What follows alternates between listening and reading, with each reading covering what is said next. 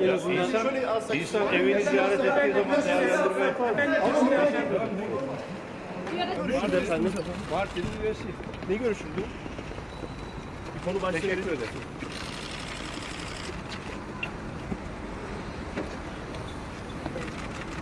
Sana